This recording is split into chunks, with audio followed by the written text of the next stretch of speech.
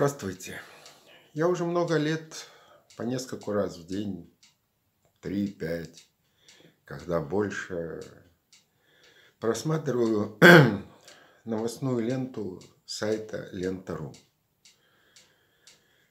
Многие мои или часть из моих знакомых надо мной смеются, типа, нахрена тебе этот вот расистский ресурс. А я всегда объясняю, что почитав одни только заголовки, уже в цирк ходить не надо. Все замечательно. А если уж сами тексты, я не говорю про опечатки, грамматические и стилистические ошибки, я не об этом. И о том, что Лента.ру, ну не только она, но другие ресурсы российские я не смотрю, не читаю, хватает и этого. Так вот, часто там заголовки типа, ну, из-за тяжелой экономической ситуации англичане доедают еду за своими домашними животными.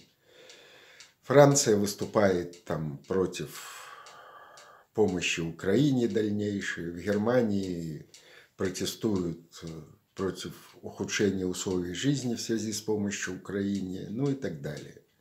Там какой-то генерал отставной чего-то там выступил, отставной еще кто-нибудь, бывший такой-то политолог или колумнист такой-то газеты. И это все выдается, как правило, за мнение или за ситуацию в целом по стране.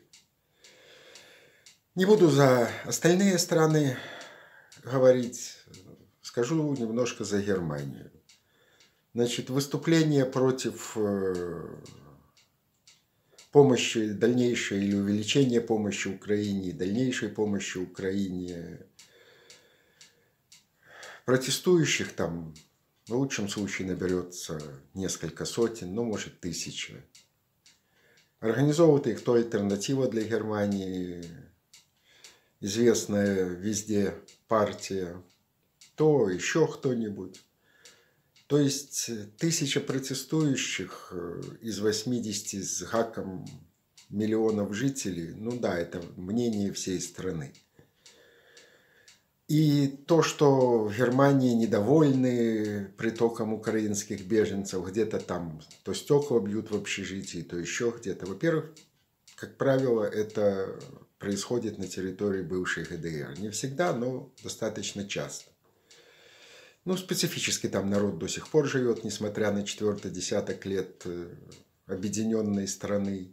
Так они были раньше против э, сирийских беженцев и против в той или иной степени поздних переселенцев и против еврейской иммиграции, лишь бы против чего-то выступать. Не говоря про то, что есть реальные экстремистские организации типа граждан Рейха и так далее. То есть э, все это в порядке вещей, к сожалению. Ну и вот в связи с этими, скажем, потугами ленты.ру выдать мнение кого-то, там, одного человека, представителя одной партии или какой-нибудь организации типа «Рога и копыта» за мнение всей страны, жителей всей страны. Позволю себе такую вольность. В общем-то, имею право. Я гражданин Германии, свободный немецкий журналист, многолетний член одного из трех крупнейших объединений журналистов, то бишь в данном случае Союза немецкой прессы – Поэтому могу тоже выступить вот в таком ключе. Правда, Лента.ру это не опубликует, но это ее проблема. Так вот, в этом ключе хочу сказать, что Германия с Украиной на всех, без исключения, вагонах метро в Ганновере и спереди, и сзади, ну, поскольку в одну сторону он идет, это у него вперед, в другую сторону, наоборот – так вот, на всех вагонах метро наклеены сердечки в цветах украинского флага. Мелочь. Но, как бы то ни было, на психику И на отношения все равно действуют. И украинские флаги возле университета, и возле других э, административных государственных зданий. И опять же в стиле Лентеру позволю взять на себя ответственность, заявить, что на бытовом уровне, в крайнем случае, я от коренных жителей, да и не только коренных, и от проживающих здесь турок и поляков, тем более поляков, никогда не слышал явного недовольства вот притоком украинских беженцев.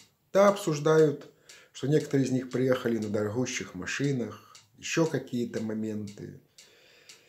И то, что не все стремятся найти работу, ну так это стремятся, так еще попробуй ее найти. Разные варианты, тем более без знания языка. Тем не менее, и волонтеры, и просто жители помогают и с поиском квартир. И он, я сам недавно перечислил небольшую сумму денег э, общественному объединению из Штутгарта, которое помогает, э, так сказать, животным беженцам с Украины, которые находятся вот э, в приютах там или где то ли, то ли хозяева у них нету, то ли еще какие-то варианты то ли хозяева не могут с ними жить, пока там где-то находятся. Ну, в общем, перечислил туда денежку. И я не думаю, что я один такой. То есть точно в этом уверен. Поэтому на бытовом уровне вот эти все сказки о том, что вся Европа уже стонет, и вот и цены на газ. Да цены росли и растут. И ничего нового или удивительного в этом нет. И многие здешние законы в плане вот оплаты жилья, оплаты коммунальных услуг, сами немцы признают, что они немножечко, мягко говоря, с дурком. Но, тем не менее, ничего с этим не поделаешь. Единственное, что еще раз рискну утверждать, что подавляющее большинство жителей Германии все-таки понимают, что а. Война – это плохо в любом варианте. Б. Если бы Россия не напала на Украину, то ничего бы этого не было, ни, неф... ни энергетического кризиса, ни притока беженцев. Ну, в общем, не Украина в этом виновата. Ну и не встречал нигде и ни от кого не слышал, чтобы где-то в офисах, в магазинах, в ресторанах э, подвергались русскоговорящей какой-то дискриминации, возможно, есть. Но дело в том, что одно дело русскоговорящие, давно живущие здесь, которые в подавляющем большинстве тут же перейдут на немецкий и любому объяснят, что он сам дурак. Другое дело туристы, или кто-то еще из России, которых не знаю, сейчас есть они вообще. Ну, разве что эти все из большой московской тусовки, смотрите некоторые из моих предыдущих видео по этому поводу. Ну, так это их проблемы. Э, где-то летом еще, наверное, мы шли как-то с женой по нашему Гарпсону. Ну, естественно, между собой разговаривали на русском. Прошли мимо двух турок стоящих. Те услышали русскую речь, и один из них вслед нам в спину «Путин Шайзе». Для тех, кто не знает, в переводе с немецкого это дерьмо. Моя жена повернулась и на том же немецком ответила «Я Путин Шайзе». Турки заржали, и на этом мы разошлись. Это вот небольшой штришок к портрету, так сказать, среднестатистического жителя Германии.